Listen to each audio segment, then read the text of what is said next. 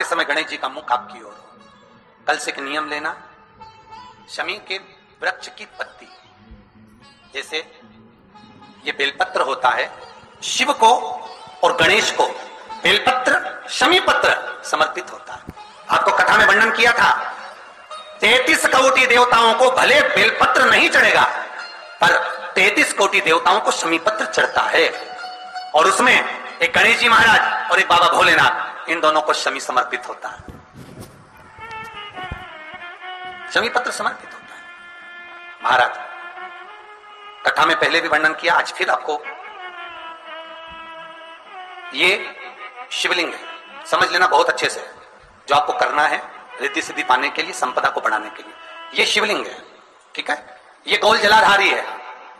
ये चरण से जल नीचे गिरता है। शंकर जी का पूरा परिवार शिवलिंग के आसपास में है। शंकर जी की पाँच लड़कियाँ जो ऊपर से जल नीचे गिरा रही हैं, जया विशाला शामरी बारी दो तली और देव, ये शंकर जी की पाँच लड़कियाँ जिनका नाम लेकर सोने से रात्रि में नींद अच्छी आती है। एक एक बूंद जो ऊपर से गिरा रही हैं, ये शिव की पाँच बेटी। जहाँ से जल नीचे गिरता है, शिवलिंग का जो जल नीचे जाता है, उसके राइट भाग में गणेश जी का स्थान, लेफ़्ट भाग में कार्तिकेय का स्थान, बीच में शंकर जी की सबसे छोटी लड़की अशोक सुंदरी का स्थान। शिव महापुराण की कथा कहती है और गणेश चरित्र अपन श्रवण कर रहे हैं और कल से चतुर्थी लग रही है, जिसके घर में संपदा की कमी पड़ती हो, बीमारियाँ ज़्यादा फैल रही हो, बहुत कष्ट हो महाराज, बहुत ज़्यादा दुखी हो महाराज।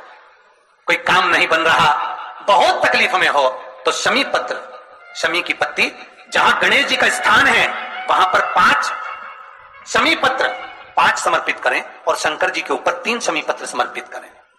बहुत ध्यान देना पाँच समीपत्र, तीन समीपत्र शिवलिंग के ऊपर समर्पित करें। एक समीपत्र शंकर जी की चौखट पर लेफ़्ट भाग में जाते समय आपका उल्टा हाथ, जब मंदिर से निकलो तो उल्टे हाथ पर, लेफ़्ट भाग में शंकर जी की चौखट पर समर्पित करें। एक समीपत्र। और महाराज का दिया, जहाँ लेफ़्ट भाग में आपने समीपत्र रखा है, मंदिर में ना दिया लगाकर, बाहर की ओर जहाँ समीपत्र रखा है, उसके ठीक साइड में एक घी का दिया लगा दीजिए।